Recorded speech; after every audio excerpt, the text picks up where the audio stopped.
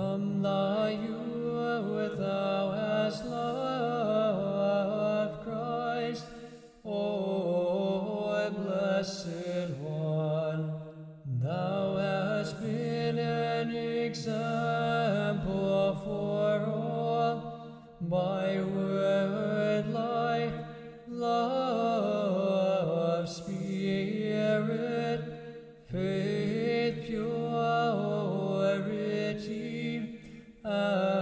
and humility.